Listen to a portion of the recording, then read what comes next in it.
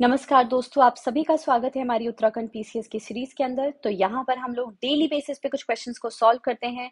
तो आज के अपने इस लेक्चर को शुरू करते हैं और चलिए पहला क्वेश्चन देखते हैं। तीन तिकड़ी कस्टम ये उत्तराखंड की कौन सी जनजाति है जो तीन तिकड़ी कस्टम को मानती है?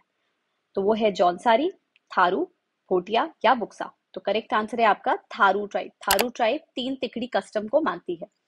एंशियंट कीरत को कैसे आइडेंटिफाई किया जाता है? कौन सी ट्राइब के साथ आइडेंटिफाई करते हैं? जॉनसारी थारू रनवालत या रज्जी। तो correct answer is Tharu.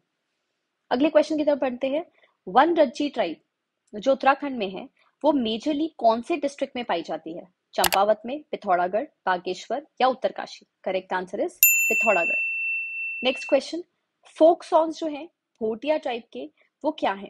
तुवेरा, Bajyu, Timli या all of the above the correct answer is all of the तो ये सारे के सारे जो फोक सॉन्ग्स हैं, वो भोटिया ट्राइब्स के हैं।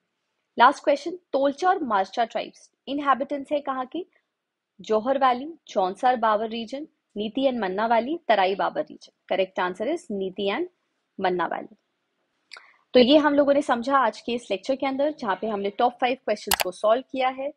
तो इसको आप फाइनली क्या करेंगे? देखेंगे और कोई भी आपके डाउट्स होंगे तो हमें दोबारा से इस पर मैसेज करके ज़रूर बताएँ कि आप किस पे चाहते हैं कि हम लोग और फर्दर वीडियोस बनाएँ।